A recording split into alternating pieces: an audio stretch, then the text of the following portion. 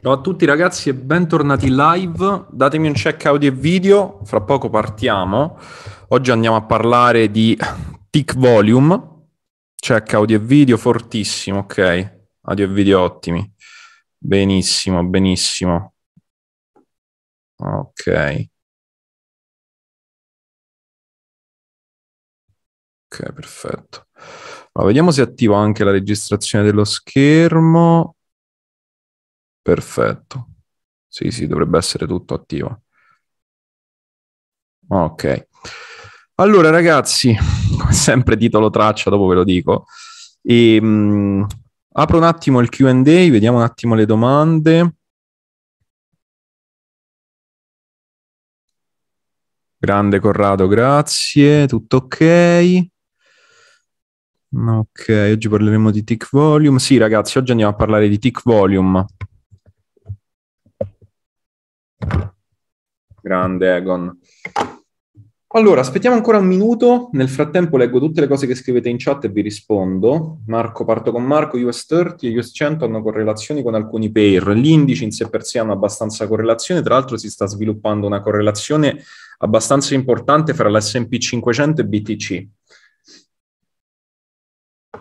Ottimo, andiamo a vedere altre domande. Sta a posto, tutto bene, carichi, grandi.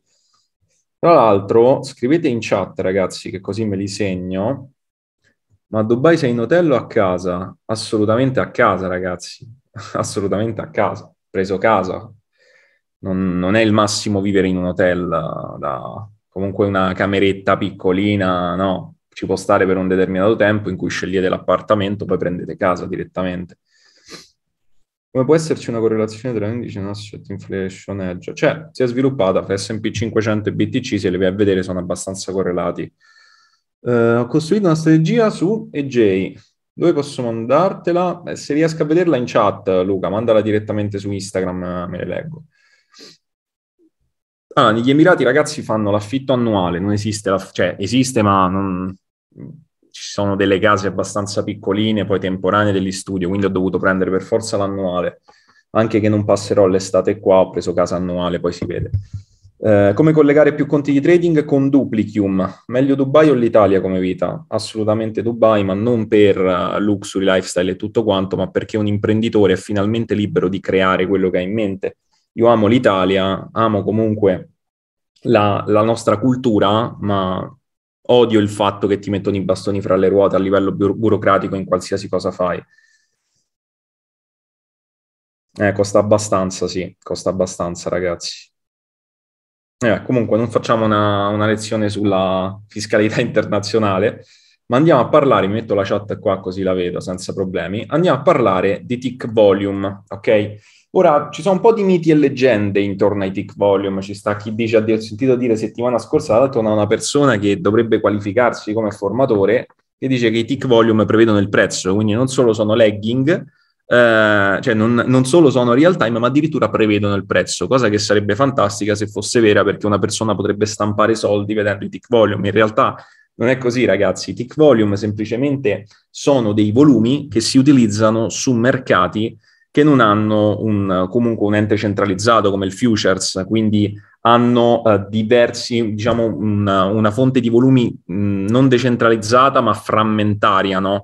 Ogni broker all'interno del CFD ha i propri volumi, ha i propri trader che aprono appunto all'interno di quella piattaforma e a livello mondiale ci sono migliaia di broker, ok? Quindi in quel caso proprio per questa motivazione non possiamo dire di avere i volumi reali del Forex.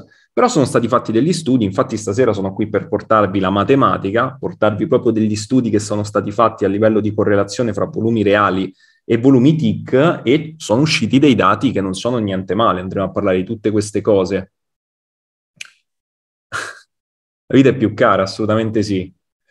Sì, ma se vi interessa lo facciamo. Facciamo allora il tick volume si può usare anche per l'operatività intraday? Assolutamente sì, ragazzi. Il tick volume si può utilizzare. Andremo a vedere come non sia il sacro graal, quindi non è che vi cambia la strategia, ma vi dà una confluenza ulteriore, quindi può dare una conferma quando voi volete triggerare la vostra entrata. Ok? Parliamo un attimo della differenza fra i mercati. Iniziamo così. Parliamo della differenza proprio fra il futures e il forex. Ok? La differenza, ragazzi, qual è principale a livello dei volumi? Che il futures, essendo centralizzato, tu puoi andare a vedere proprio i contratti e sai che effettivamente lì sono entrati quella quantità di volumi. Il Forex invece devi utilizzare un ragionamento che è deduttivo, quindi parti da una base di tick volume e la cosa che, chiarisco principalmente è che il tick volume si utilizza nei mercati dove non hai attività centralizzata, ok? Quindi capite bene che è difficile andare ad aggregare i dati di tutti i broker, a parte che costerebbe tantissimo, ma è difficilissima come cosa da fare. Ok? Quindi essendo il, CF, il CFD di natura frammentata, si utilizza l'assunzione che viene fatta dalla maggior parte delle persone che i volumi siano inutilizzabili. In realtà non è così possono essere utilizzati per fare le cosiddette better informed decision, quindi delle, delle, decisioni informate su quello che stai facendo, non sono lagging come gli indicatori classici, quindi effettivamente quando hai uno sviluppo della candela tu vedi in real time, non è che il volume lo vedi alla chiusura della candela, come molti indicatori, ma è real time, però dobbiamo andare a capire intanto che cosa vuol dire tick volume. Chi è che mi sa dare una definizione di cosa vuol dire tick volume? Si può usare per tutto, ragazzi, non solamente per lo scalp. Ma Fabio, cosa pensi porterà nel futuro tutti questi nuovi trader emergenti? Pensi sia possibile che succeda qualcosa che spazzi via tutto con una sorta di crollo della borsa? No, no. Anche perché il trader, un trader che comunque si informa, sa anche quali sono i mercati emergenti e ne va a prendere beneficio. Un, un bravo trader con un'ampia capacità analitica all'interno del CFD può tranquillamente andarsi a fare anche il futures se aggiunge delle competenze e se aggiunge ulteriori competenze come l'analisi on-chain, può andarsi a fare anche in modo approfondito il mercato delle cripto. Sì, Livio, esatto, basato sui tick, ma che cosa vuol dire? Cioè a livello di eh, pratico, cosa, come vengono calcolati questi volumi? Come vengono calcolati? Allora, sono il numero di ticks che fa la candela di riferimento up down, o down, ok? Quindi vuol dire che praticamente ti vanno a dare un'informazione sulla pressione di volume, ok? Ti vanno a dare un'importante informazione sulla pressione di volume, sulla cosiddetta aggression del prezzo, ok? Quale parte il, i buyers o i sellers stanno aggredendo un determinato livello di prezzo? E questa è un'informazione importante perché ti fa vedere la partecipazione, ok? Ti fa vedere la partecipazione degli operatori all'interno del mercato. Ovviamente i puristi che tradano futures o che tradano magari un mercato che lavora comunque a volumi dicono no, i tick volume non sono in realtà un'informazione volumetrica oggettiva e questo è assolutamente vero perché tu non stai utilizzando i veri volumi del mercato di riferimento, stai utilizzando tramite il ragionamento una derivazione che è molto più simile all'analisi fatta da Wyckoff, ok? E andremo a vedere anche questo concetto qua. Andiamo a chiarire anche la relazione che intercorre fra i volumi classici, quindi i volumi futures, e i volumi forex. E in base a questo ora leggo un attimo le domande e poi andiamo avanti, vi porto proprio lo studio che mi sono visto, che non è niente male, ci sono proprio i dati, ci sta la relazione fra volumi centralizzati e volumi decentralizzati, quindi volumi, eh, ad esempio futures e volumi tick, perché voi sapete bene che anche l'euro-dollaro, ok? Sul forex tu non puoi prendere i volumi, ma sul futures tu puoi prendere i volumi, quindi in realtà l'informazione volumetrica ce l'hai. Fabio, quando vediamo una differenza tra trading view, tra MetaTrader e la chiusura delle candele, quale dobbiamo tenere in considerazione? Allora, quando tu sei su un mercato CFD, Ludo, capita che fra broker e broker, fra MetaTrader e TradingView ci siano delle differenze di prezzo. Quello dipende dal liquidity provider, ok? Quindi da che livello sta ticcando il prezzo di quel determinato broker vi sarà capitato sicuramente che se andate su euro-dollaro, magari di Oanda, o andate su euro-dollaro di FXCM, ci sia una differenza di 1-2 pips. Capita, ok? Non è raro. Se andate sugli esotici, a me è capitato una volta, NZ di Yen, eh, se non sbaglio era FXCM, stavo vedendo da TradingView, e eh, NZ di Yen invece di Tickmill, che è un altro broker, che aveva praticamente tipo 4 pips in più up, quindi eh, 4 pips iniziano ad essere tanti ragazzi, oppure spike su un broker che su, altro, su un altro broker non ci sono, quindi attenzione che in un mercato decentralizzato come quello poi del, del CFD può capitare, può capitare che vedi, vedi le differenze. Allora, Bra mi chiede, ora che fai più futures, il Forex lo operi swing o fai ancora intraday o fai scalp to swing? Allora, in realtà opero tutti e due, ragazzi, opero tutti e due. Tra l'altro sul Forex sto lavorando tantissimo a una nuova implementazione delle correlazioni, sto lavorando tanto a un sistema del genere perché vorrei provare ad aumentare il win rate ancora di più, cosa che non si può fare purtroppo sul futures, perché sul futures non puoi andarti a eggiare sullo stesso asset, mentre nel Forex si può fare, quindi voglio andare a implementare questo sistema per aumentare ancora di più il win rate. Per quanto riguarda invece l'operatività futures, ragazzi, sono estremamente te- breve termine. Su futures addirittura faccio delle sessioni da un'ora dove mi trado l'M1, um, ehm, quindi molto breve termine. Mentre sul Forex ho abbassato l'operatività intraday, sto comunque mantenendo quella swing, comunque l'operatività intraday che preferisco rimane quella a smart money e manipolazione ad apertura sessione. Quella rimane a mio parere una delle delle operatività migliori se vi mettete ad approfondire come lavorano in termini ciclici e in termini di manipolazione ai mercati. Gira e rigira, Wyckoff c'è sempre. Esatto. Dice Alessandro, mi sono appena collegato, non sento niente. Eh, se tutti gli altri sentono, penso che il problema di audio sia il tuo. Lezione di psicologia di settimana la devo caricare, ragazzi. Andiamo avanti. I, I, prezzi di chiusura di MFF, che sarebbe, penso, intendi la prop firm MyForex Fund, sono diversi da TradingView. Come mai? Eh, dipende proprio da quello che ti ho spiegato, dal data feed. Uh, non metti i gap, fammela personale se me la devi fare su Instagram.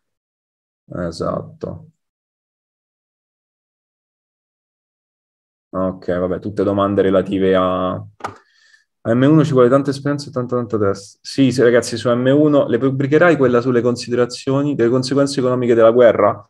Uh, sì, in realtà, ragazzi, vi dico la verità, avendo fatto una lezione del genere dove andavo a vedere oggettivamente i dati, ci sono diverse persone che sono rimaste male, forse perché mi sono un po' esposto troppo, ho fatto delle considerazioni però oggettive. Ci sono delle persone che sono rimaste male sulla lezione che ho fatto a livello di analisi fondamentale, ma non per i contenuti portati, perché sui contenuti portati mi hanno fatto tutti i complimenti, ma magari dal punto di vista del, dell'ideologia, delle cose che effettivamente, della reazione che andremo a vedere anche noi in Europa per queste cose, perché avremo delle conseguenze, non è piaciuta a tutti quanti, quindi ho detto, vabbè, magari non la carico su YouTube, poi andremo a vedere. Comunque, andiamo avanti. Studi, studi alla mano.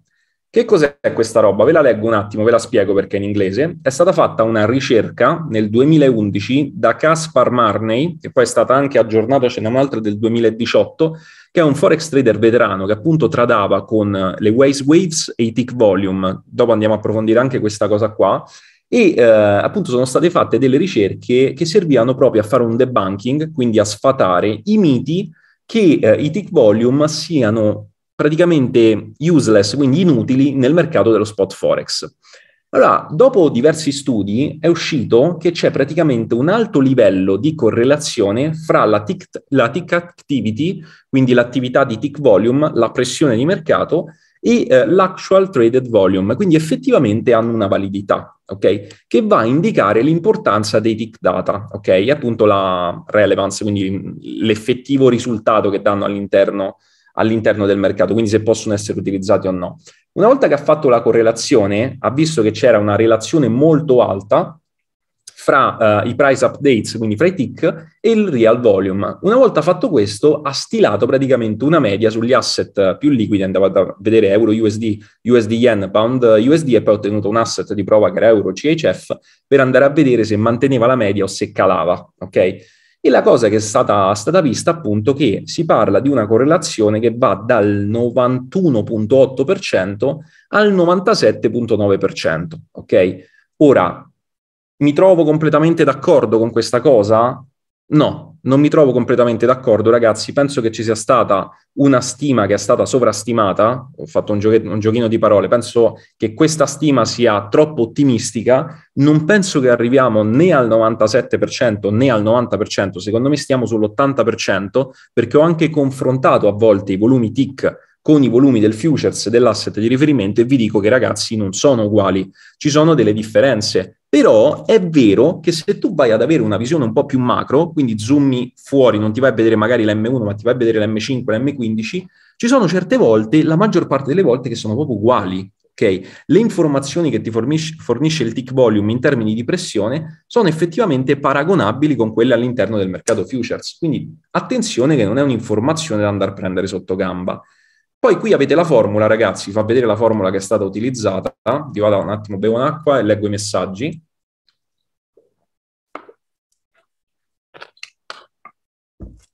Lorenzo dice, Fabio ti ho scritto su Instagram, grazie per il valore che dai.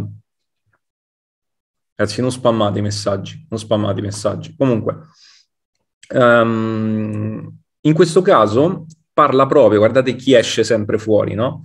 Parla della relazione che c'è fra gli studi che sono stati fatti sul 1900 su Richard Wyckoff, ok? Quindi la relazione che effettivamente aveva capito lui anche fra i tick volume. Ora, la cosa che ritorna sempre, e dice ho fatto una live apposta, nell'ultima live caricata su YouTube, ho parlato proprio di questo genio di Richard Wyckoff e di quante cose aveva capito. E ragazzi, anche l'utilizzo che aveva fatto lui dei tick volume è geniale. Stasera lo andremo a vedere perché tutto il filone della volume spread analysis, che è una metodologia di analisi dei volumi in confluenza della price action, per andare ad aumentare il win rate e andare a comprendere le forze che intercorrono all'interno del mercato, in questo caso, ragazzi, Wyckoff ha fatto anche qua un lavoro enorme, ok? Andiamo avanti. Logiche di Wyckoff. Vi faccio vedere qualcosina di interessante in termini di relazioni che esistono e che intercorrono fra... Anzi, andiamo a fare una zoom, un uh, zoom up, vediamo se ce lo fa. Eccolo qua, così si vede anche meglio. Mettiamolo full screen, eccolo qua. Questa è la Wyckoff Logic, l'abbiamo vista diverse volte e non ci siamo mai soffermati sulla parte sotto. Conoscete benissimo sch- le schematiche di Wyckoff, ne ho trattato molte volte, ragazzi.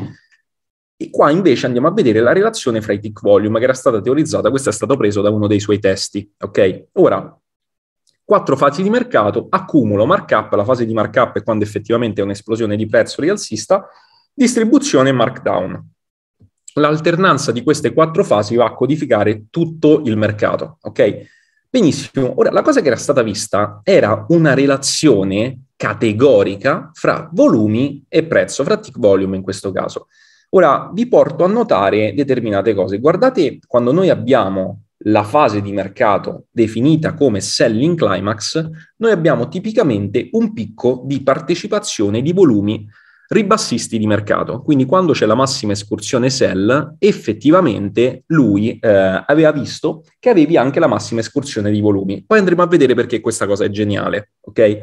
Successivamente, quando tu sei all'interno della fase di accumulo, è lì che iniziano a caricare la maggior parte degli operatori istituzionali. Quindi vai a vedere una partecipazione anche in termini di tick volume, questo lo vedi sia dal futures sia dal forex, che è più alta da parte dei buyers. Come vai a vedere la partecipazione, se vai a prendere un average qua dentro, vedi che comunque i sellers stanno avendo un decremento di partecipazione, la maggior parte della partecipazione riguarda proprio i buyers, ok? Successivamente il mercato fa un lower low, ok? Quindi va a rompere tutta questa struttura su volumi e partecipazione sell che è ancora inferiore, ok? Quindi avere una partecipazione sell ancora inferiore e infatti lui aveva codificato questa fase come low volume failed sell-off. Che cosa vuol dire? Vuol dire un movimento non effettivamente sostenuto da volumi, cosiddetti, come dice anche Carmine, volumi divergenti. Allo stesso modo, quando tu vedi un, una fase di consolidamento, c'è una costante. Se tu vai a vedere i volumi, hanno un decremento entrambi le parti dei volumi, quindi sia i volumi sellers sia i volumi buyers hanno un decremento. Successivamente, quando si parte in fase direzionale, quindi già quando il mercato ancora non ha fatto il breakout dell'accumulo, già vedi che iniziano a riprendere forza i volumi della direzionalità che vogliono prendere finale. Okay? Successivamente, la fase invece di inizio del markup si va a codificare dal momento in cui tu hai un'escursione volumetrica che è molto più alta delle escursioni che hai avuto nell'average precedente. L'average pre- precedente, ragazzi, è questo, quindi la fase di markdown. L'average precedente viene doppiato praticamente da questa situazione di markup. Da qua noi abbiamo la partenza di un mercato, ok? Partenza di un mercato rialzista. Andiamo a vedere la stessa cosa all'interno di un mercato ribassista. Buying climax in corrispondenza di volumi rialzisti molto importanti, identico alla fase di selling climax praticamente, successivamente un decremento della fase della partecipazione con volumi buyers che diminuiscono, volumi sellers che aumentano e qua abbiamo una partecipazione di up movement, quindi fanno il breakout di queste situazioni con un volume stazionario. Ok, Vedete, non riescono a fare un nuovo massimo di volume, ma rimane stazionario. Questo è ancora rischioso, perché qua, quando tu vedi una partecipazione di volumi comunque alta, potrebbe effettivamente farti un breakout, potrebbe effettivamente farti una continuation. Quando è che noi andiamo a avere oggettivamente la pressione che inizia a entrare da parte dei sellers, quando vediamo che c'è un incremento anche della partecipazione proprio da questa candela qua, ok? Quindi praticamente dalla candela di markdown e dall'effettivo breakout, infatti qua non continua più il grafico, ma qua ci dovrebbe essere la fase di test del punto di emissione o test del punto praticamente del break the ice, che è la fase di rottura. Oppure si potrebbe ragionare sempre in termini di divergenza volumetrica, quindi diminuzione di partecipazione dei volumi buy e quindi andare a tradare anche questo low volume rally. Qui ve lo va a categorizzare ancora, ok? Vi dice praticamente che qua abbiamo un rally ribassista di volumi dove ancora non c'era stato un effettivo incremento sostanziale dei volumi sell. Okay? Tutte queste logiche riescono ad essere integrate molto bene all'interno del mercato. Un ragazzo chiede come, come sono i volumi arancioni, quando praticamente sei sotto all'average, ok? Non sono volumi rilevanti, non sono sostanziali, quindi praticamente neanche te li va a colorare, ok? Andiamo avanti un attimo e vi spiego, mi date un check un attimo in chat se vi è chiaro? Chiari questi concetti ragazzi? Quindi praticamente facendo un attimo un riassunto di quello che abbiamo visto finora, il tick volume è una misura della partecipazione, un degree of commitment lo chiamava Wyckoff. Ok, quindi è una sorta di indice di cosa effettivamente, di quale parte del mercato effettivamente sta accumulando e sta distribuendo. È molto utile nelle fasi di accumulo e distribuzione, lo andremo a vedere. Ok? La differenza fra futures e CFD l'ho spiegata all'inizio lezione, Martin. Sì, sono molto utili per accumulo e distribuzione. Ragazzi, attenzione, ve lo vado a spiegare anche dopo, che il tick volume non è il sacro graal, ok? Non ti va a dare un'informazione che è categoria, quindi vado sell o vado buy. Il tick volume ti permette di avere un'integrazione all'interno della tua strategia che ti va a dare effettivamente un vantaggio statistico ulteriore. Però deve sempre partire da una serie di confluenze che tu hai già creato, ok? Quindi devi già avere una serie di confluenze all'interno della tua strategia con la quale tu vai a, a, qualificare se effettivamente hai il setup o non è il setup. Infatti questa strategia qua, la strategia praticamente dei tick volume che aveva creato lui, insieme alla visione di um, accumulo e distribuzione deve essere sempre integrata a un'analisi multi-time frame, ok? Quindi alla multi-time frame analysis. Abbiamo parlato anche di questa, se andate su YouTube nella sezione costruire una strategia da zero, avete tre video da più di un'ora l'uno, un'ora e venti l'uno, dipende, e in, tre, in, quelle tre ore di video, se ci andate ad aggiungere anche questo concetto, già avete una strategia di partenza che non è niente male. Poi vi consiglio di andare a implementarla anche con i vostri concetti, quelli che utilizzate che vi forniscono legge se già siete profittevoli. E adesso andiamo a vedere diverse categorie di volumi di mercato andandoli a confrontare, ok? Quindi abbiamo visto questa fase, andiamo a vedere degli esempi abbastanza importanti e cerco di farvi capire qual è la logica sottostante. Ci sono diversi esempi che vi aiutano veramente tanto per capire i volumi. Il volume classico, ragazzi, è gratuito, lo, andia- lo andate a inserire da TradingView, indicatori, volume, scrivete proprio volume, si dice uguale sia in inglese che in italiano, quindi volume, eh, cambia la pronuncia, lo aggiungete, è già standard, ok? Cambia solo la media mobile, ma potete anche andare a togliere la media mobile. Questi, ad esempio, sono tutti esempi visti con ehm, la visualizzazione standard dei volumi.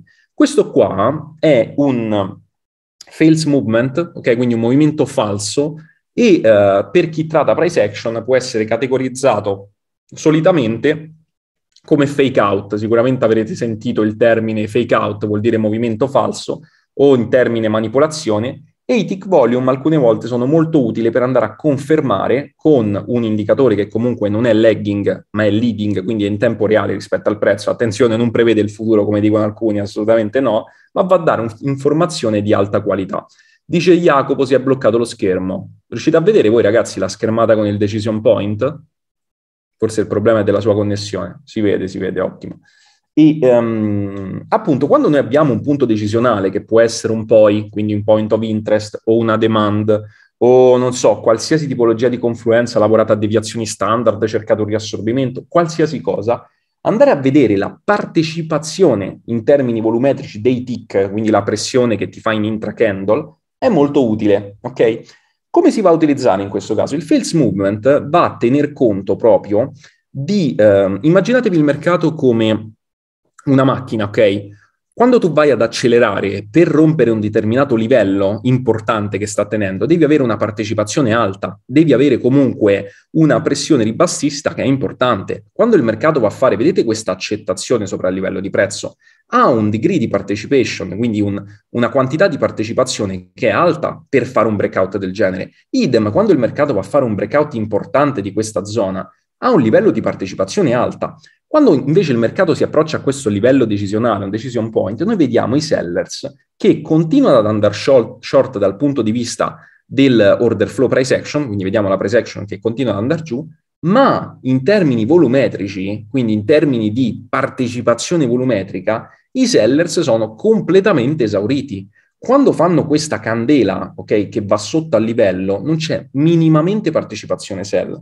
Infatti, in una singola candela abbiamo sia un engulfing dell'intera zona di accumulo, sia un engulfing volumetrica di tutto l'average precedente che c'era stato. Questo è un perfetto esempio di induzione e un perfetto esempio anche di manipolazione di mercato. Può essere utilizzato in confluenza con questi concetti qua.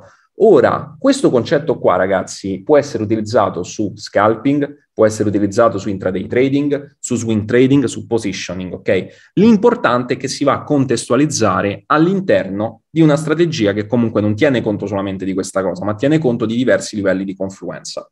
Un'altra cosa importante, ragazzi, che voglio farvi notare, guardate come la compressione, quindi l'effettiva chiusura del mercato all'interno di un canale, questa è anche una wolf, per chi si è visto il mio video gratuito che ho fatto, bravissimo, l'ha scritto adesso Egon, per chi si è visto il mio video gratuito che ho messo su YouTube, eh, c'è anche la wolf come pattern manipolatorio. Se voi andate a vedere effettivamente questi due minimi vanno a conformare una perfetta wolf con un engulfing, ok? L'altra cosa che dobbiamo andare a vedere è come quando il volume presenta una partecipazione alta, il mercato effettivamente scende senza ostacoli. Appena il volume inizia ad avere una partecipazione decrescente dei sellers, il, il, mercato può scendere, ma inizia a fare molti più pullback. In questa fase qua siamo vicini al reversal. Okay? Vi faccio notare anche qua, guardate qua, alta partecipazione buy, decremento dell'interesse buyers, decremento, decremento, decremento, fino al momento in cui cosa fa? Il mercato continua a salire, ma successivamente abbiamo un reversal di price action.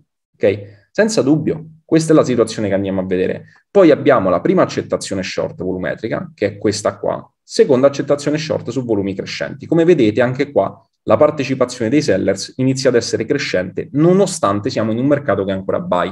Idem qua dentro. Andate a notare questa situazione. Vedete come i volumi buy iniziano a aumentare notevolmente su un decremento dei volumi sell. Questo mercato successivamente ha mitigato qua dentro e ha sparato al rialzo.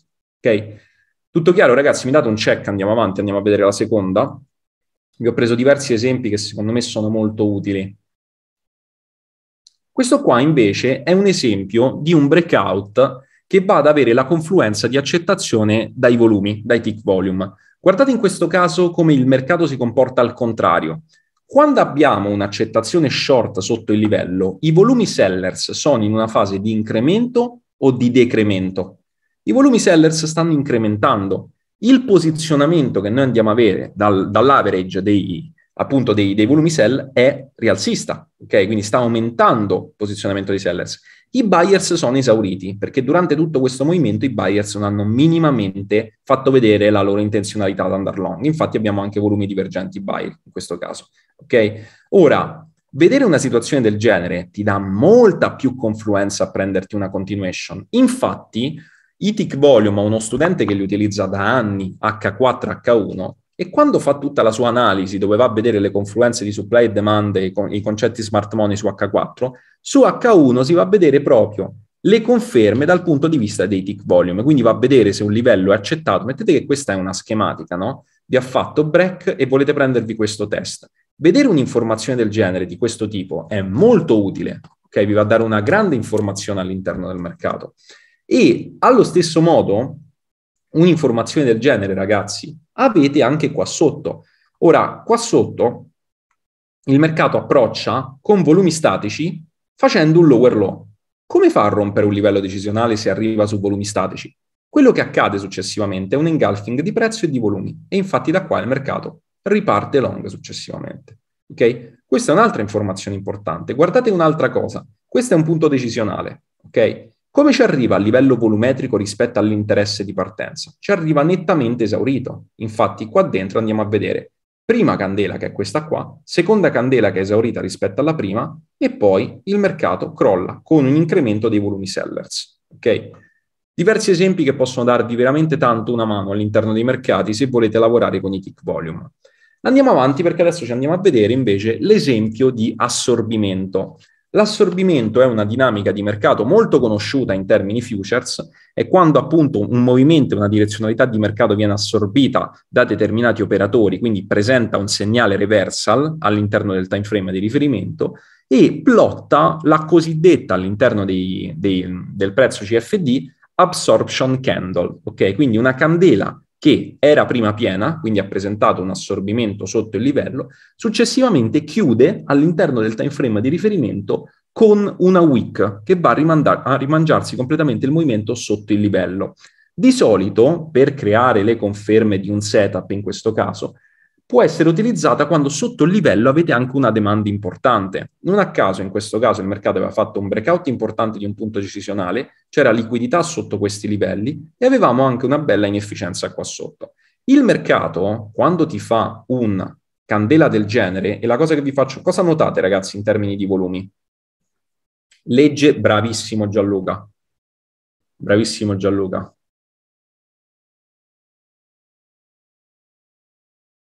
Sì, Alessandro, anche su time frame maggiori puoi utilizzarlo, come ho spiegato prima.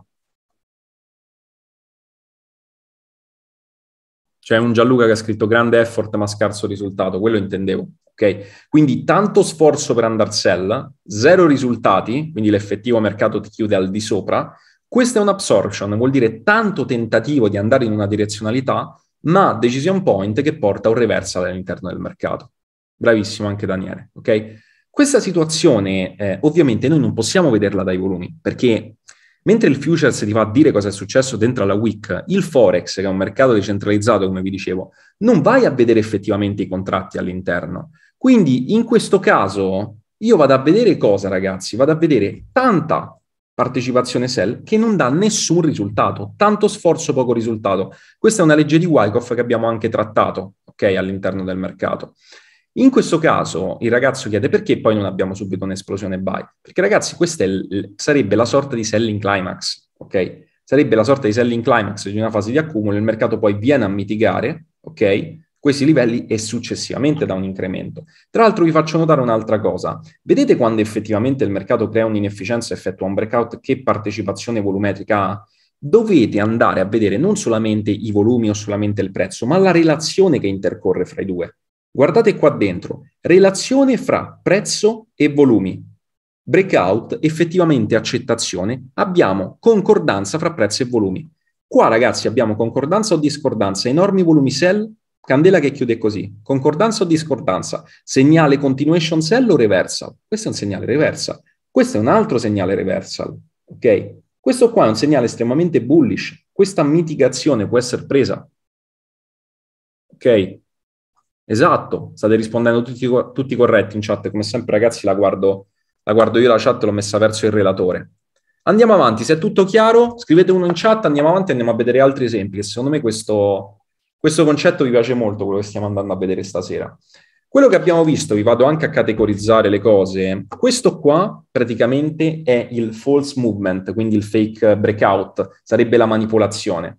Questo qua invece è il catalizzatore, quando hai un breakout e effettivamente il mercato ti dice guarda che vado in continuation, quindi concordanza fra prezzo e volumi, discordanza fra prezzo e volumi, e infatti è un reversal, continuation, reversal, questo qua invece è sempre un reversal, infatti cos'hai? Discordanza fra prezzo e volumi. Ricordatevi questa relazione ragazzi, la metto qua dentro. Discordanza prezzo volumi reversal, prezzo e volumi concordi, continuation. Ok?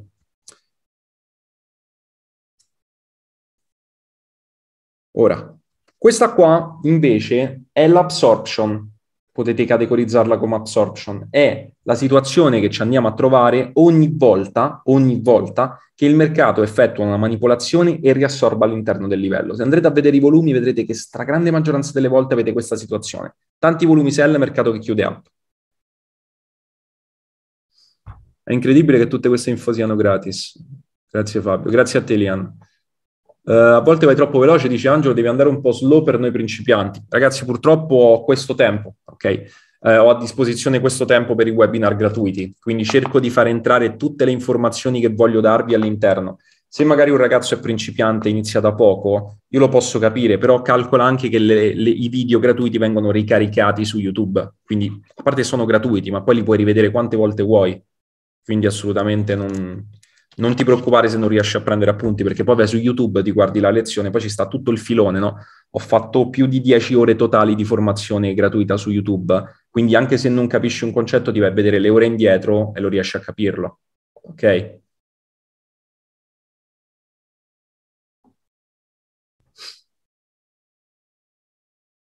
Tutte queste informazioni gratis, ragazzi, sono state... No, ma non era una lamentela, Michele, da parte del ragazzo, penso comunque sia una cosa vera per aumentare mh, la qualità, per far capire anche a chi è nuovo. Fabio, puoi ripetere quando abbiamo una spike con un volume elevato? Sarebbe una continuazione? No, questa qua è un reversal. Questo è un reversal. Spike, volume elevato, questo è il reversal. Cioè tu insisti sul livello per andare contrario, invece la continuazione è quando effettivamente hai un'accettazione sotto il livello, quindi non ti lascia la spike, ma hai un'accettazione sotto il livello con un incremento dei volumi direzionali nella direzione in cui vuoi andare. Questo potrebbe essere anche un esempio buy, ok? Se tu sei, inverti il grafico, ok? Se fai breakout rialzista e test e i volumi rialzisti sono up, questo è anche un segnale continuation long. Andiamo avanti, questo diventa molto interessante, qui inizia a diventare molto interessante, poi facciamo anche il Q&A finale. Allora, questa qua invece viene definita la real money candle, real interest, sarebbe il concetto di Sam Seiden di um, fresh supply, no? quando ancora non viene testata. La cosa che vi stavo spiegando prima e che vi ho anticipato è che quando voi vedete una candela che effettivamente spicca in termini di volumi e spicca in termini di prezzo, effettivamente lì dentro avete sicuramente un'alta relazione fra volumi ok? Anche volumi reali, ok? E tick volume, quindi la, la, relazione è molto alta, tipicamente un 80%. Quindi è probabilissimo che all'interno di quella zona noi andremo ad avere un reversal. Ora, voglio farvi notare l'intera uh, integrazione di questo setup all'interno di una strategia. Ok, facciamo finta che voi state, avete una strategia trend following, questo magari è l'H4, e voi volete posizionarvi all'interno di una demand che ha completato la fase di accumulo e ha provocato un'accettazione. Come sempre vi prendete swing, high, swing low, swing high di riferimento, qualificate il vostro dealing range e andate ad osservare come si comporta il mercato quando arriva all'interno della zona. Quando arriva all'interno della zona, ragazzi, andiamo a vedere tipicamente, e qua questa ve l'ho messa per farvi vedere, sia l'aggression rialzista buy, ok? Sia l'esaurimento dei sellers. Allo stesso tempo vediamo tanta pressione buy e i sellers che iniziano a perdere interesse nel movimento. Arriviamo praticamente all'interno della zona dove i sellers sono esauriti e i buyers cosa stanno facendo? Questa qua è quella che io chiamo accettazione volumetrica, ok? La relazione è il momento in cui i volumi salgono rispetto all'average, abbiamo un interesse buyers che è riallineato al precedente interesse buyers volumetrico.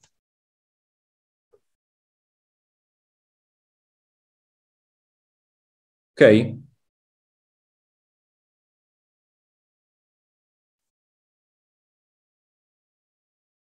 Sul mio canale, Marco, sul mio canale YouTube verranno caricate. Davide chiede, puoi fare un confronto fra uh, tassazione italiana e tassazione emiratina? Ma servirebbe un video a parte, ragazzi. Servirebbe un video a parte. Ottimo. Poesia, fantastico. Tick volume, ragazzi, scrive volume. Possiamo rifinire ancora meglio l'immissione? Certamente, certamente. E questo qua, non c'è niente a pagamento. Questo qua si chiama vol, ok? Sulle impostazioni, questa non serve neanche la media, non ci fate niente, quindi praticamente vi dà solamente growing o falling, ok? E questi concetti, io ogni volta mi gratto la testa per quanto rimango stupito di come quest'uomo aveva già capito tutto. Ragazzi, nel 1900, eh? Nel 1900 questo aveva capito tutto. E tutte queste cose, se le andate a cercare, a livello di relazione, attenzione, non a livello di volumi, ma c'erano già. già aveva capito le relazioni che intercorrevano fra i buyers e i sellers. Quindi real money candle, absorption, eh, accettazione strutturale con eh, incremento dei volumi, quindi catalizzatore, e false movement, quindi fake out. Queste quattro conferme all'interno della vostra strategia vi danno un'effettiva confluenza. Vi faccio vedere un esempio proprio pratico di un trade, ok? Questa qua, a livello di qualsiasi strategia, concorderete sul fatto che abbiamo una situazione che ha fatto swing high, swing low, accettazione sotto un livello importante e non era più tornata a testare quel livello di rotazione o livello di liquidità, ok? Ora, quando il mercato entra all'interno di quella zona, cerchiamo di qualificare insieme le fasi, come se fosse Wyckoff, ok? Questa fase con un'enorme candela buy in prossimità della zona di distribuzione, come la andiamo a chiamare? Dal punto di vista di inizio schematica. Ve l'ho spiegato prima.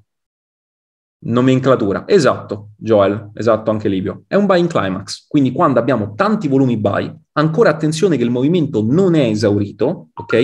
È l'inizio di un esaurimento dei buyers perché stanno avendo praticamente un, un, una forte spinta rialzista, ancora non abbiamo esaurito l'order flow sellers. Successivamente ci andiamo ad osservare, vi zoomo proprio in questa parte, l'interesse dei sellers che inizia ad aumentare. Infatti primo, la prima partecipazione sellers che andiamo a notare qua dentro è molto più ampia di tutta la partecipazione dell'average sellers qua dentro. Cosa hanno fatto? Hanno nascosto la partecipazione sellers dietro un ritracciamento. Qua già si sono posizionati gran parte degli operatori. La bias è short. Andiamo a vedere anche il mercato quando sale se rispetta l'interesse buy. Assolutamente no. Parliamo di volumi che sono la metà rispetto ai reali, inter- ai reali volumi sellers che sono entrati qua dentro. Okay? Successivamente vediamo che in fase di consolidamento, come abbiamo visto anche prima, iniziano ad aumentare di pari passo sia i buyers che i sellers, aumenta la liquidità e la volatilità all'interno della zona. Cosa aspettiamo noi? Aspettiamo sempre un'effettiva evidence, una partecipazione di prezzo e di volumi di breakout. Se vogliamo fare i precisi, andiamo a cercare una candela che spicca notevolmente rispetto alle altre, quindi è al di sopra dell'average, questo sarebbe la nostra fase di break the ice, quindi qualsiasi test di questo livello per strategia può essere utilizzata a conferma di questi concetti qua, quindi in follow up ribassista. Se invece vogliamo essere aggressivi e vogliamo andare a prenderci l'entrata sul livello e sullo spring, basta andare a vedere la relazione che intercorre fra l'ultima fase rialzista, fra la penultima fase rialzista e l'ultima fase rialzista. Quando vedete che il mercato fa un up movement sul decremento di partecipazione, 80% delle volte, come vi spiegavo prima, non 90, secondo me è sovrastimato quel dato, parliamo di un reversal all'interno del mercato. Ok? Questi concetti, ragazzi, di solito noi li andiamo a bistrattare, a ignorare, perché diciamo, ma tanto vabbè, ma tanto sono concetti gratuiti, sono live gratuite. In realtà la cosa che vi chiede è di andarvi a testare queste cose inserite all'interno della vostra strategia, ok? E poi farmi sapere all'interno della prossima live quanto vi hanno aumentato il win rate, perché vi salvano degli stop loss. Questi concetti vanno a salvare degli stop loss all'interno dei mercati. Qui vi faccio vedere un altro esempio proprio di eh, esaurimento, ok, e spiegazione più approfondita di quello che stavamo vedendo prima. Come vedete qui abbiamo alta partecipazione buy all'interno della zona, accettazione sopra la zona, quindi siamo effettivamente buyers, ok? Guardate anche qua, ora noi non ci prenderemo questo trade, ma guardate anche qua, buy in climax, Mercato che fa un up movement su decremento di volumi tick, decremento di partecipazione, cosa succede? Reversal. Qua, decremento di partecipazione sellers, ok? Volumi bassissimi quando approcciamo in zona. Ve lo ricordate il concetto che se deve rompere eh, una zona ha bisogno di accelerazione e di accettazione sotto la zona, non abbiamo nessuna delle due. Successivamente parte l'incremento dei volumi buy. Da questo momento in poi, da questo noi abbiamo l'effettiva accettazione, possiamo posizionarci. Vediamo un attimo... Um, le domande, questo slide è spettacolare con lo spring dopo, esattamente. Funziona su US 30? Sì, ragazzi. Su US 30 avete anche i volumi reali volendo, eh, al futures. Andiamo avanti. Ora, i geni vengono solitamente copiati successivamente. Quindi che cosa è successo? Che vedendo queste teorie di Wyckoff, questo abbiamo accennato nell'ultima, no, nella penultima live gratuita, ci sono molte persone tra le quali Waze Waves, studiosi che hanno detto, cavolo, ma sai che con questo concetto posso andare effettivamente a crearci una strategia molto, molto valida? Infatti, eh, negli anni successivi, Waze Waves è andata a codificare un sistema che è identico a quello che vi ho fatto vedere su, uh, sulle onde di volume prese in relazione con il prezzo. Quindi, che cosa è successo? Che lui è andato a vedere che nella fase di buying climax abbiamo sempre un picco rialzista, anche delle Waze Waves, un altro indicatore gratuito, ragazzi, che trovate. Ok? Quindi incremento rialzista dei volumi, successivamente facciamo un up movement su volumi ribassisti, quindi su volumi che non sono riusciti a fare anche un higher high di partecipazione.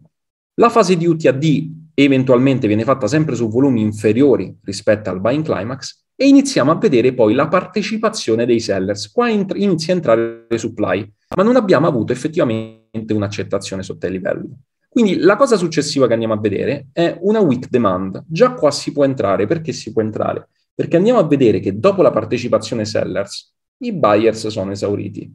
Questo qua è una tipologia di volume che non ti va a differenziare fra volumi buy e volumi sell. Vedete com'è inutile? Se tu non riesci a differenziare fra volumi buy e volumi sell, ma ti dà solamente la partecipazione, come fai a utilizzarlo? Mentre andarla a utilizzare verde e rosso, come l'ho fatto vedere prima, che sia il Waves Waves, che sia il tick volume, vi va a dare un effettivo vantaggio statistico all'interno del mercato. Se invece vogliamo andare a vedere dove oggettivamente abbiamo un'accettazione di prezzo, andiamo a prendere questo swing. Da questo swing qua noi abbiamo rotto tutta la fase di accumulo, infatti questo è un eventuale posizionamento su test per andare short. Ok? Ragazzi, spero questi concetti vi siano piaciuti, uh, che queste cose gratuite appunto siano apprezzate. Uh, ora andiamo a fare il QA. L'unica cosa che vi chiedo, ragazzi, se vi è piaciuta la lezione, andate sul Trustpilot io vi ho dedicato, vi dedico un'ora, da praticamente un sacco di tempo, un minuto per lasciare una recensione qua dentro. Ora andiamo a fare il QA, torniamo sul grafico e vado a vedere domande e risposte. Complimenti. Eh, allora, aspetta un secondo, ragazzi, che vado a leggere tutto quanto. Eh. Apriamo il QA qua sopra, così ce la vediamo meglio. Allora, Andrea chiede, caro, capita spesso che su GBP USD dopo la grab of liquidity non fa più test su time frame minori, possibile modo per trattarlo al meglio? Capita ragazzi, capita che magari voi avete una bella schematica, ve la faccio bianca, Se avete una zona sell qua dentro, avete una bella schematica, aspettate un test, invece il mercato fa questo, ok? Eh, capita ragazzi, non, non ci potete fare niente su questa cosa qua. Tutto ok? Eh, dove aprire partita IVA? Eh, bella domanda da una persona che l'ha chiusa da tempo, Niccolò, non, non saprei. Eh, partita IVA al giorno d'oggi con la tassazione che c'è in Italia non è proprio il massimo.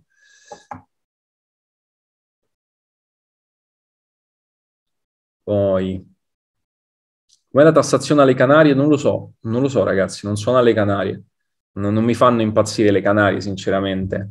Um, diciamo che è bello il clima, uh, però non, non, lo so, preferisco, preferisco città come Dubai, mi piace anche molto la Svizzera e questo. Di città spagnole Marbella mi fa impazzire.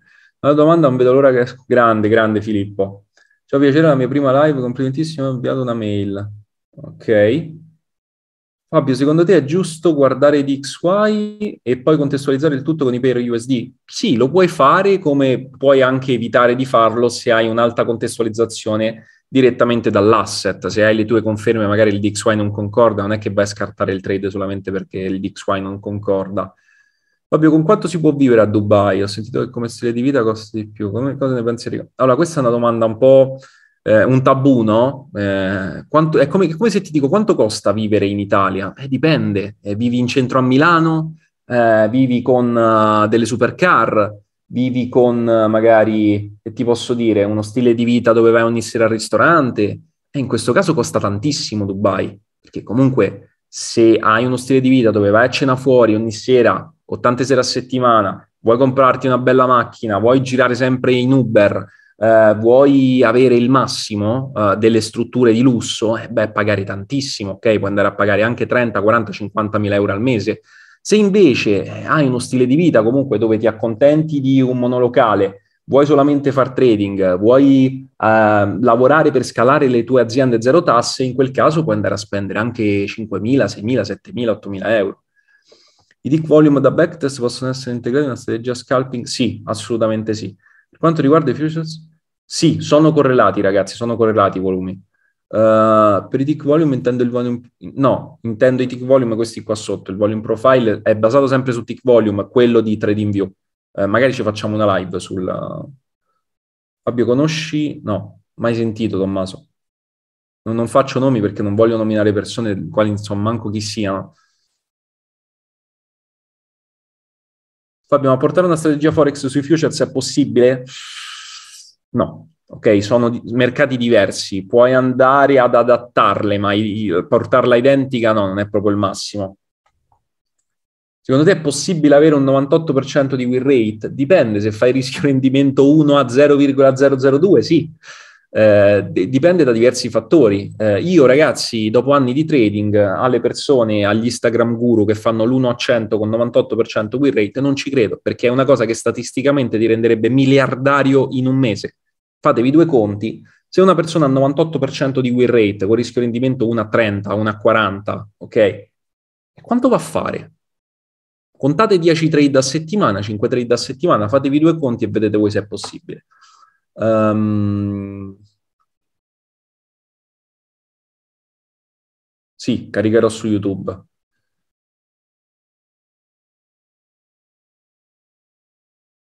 Sì, vi ho fatto vedere l'esempio sopra, Giulio, ho fatto vedere quattro esempi diversi. Sono al top, questi sono tutti i complimenti. Usi il terminale Bloomberg, no? tutto in crypto, no bank. Stile di vita normale, eh, ma anche normale, Pasquale, dipende dai tuoi standard, perché magari normale per qualcuno è cucinarsi a casa tutti i giorni, e la normalità per qualcun altro è andare al ristorante tutte le sere, cioè dipende, capito?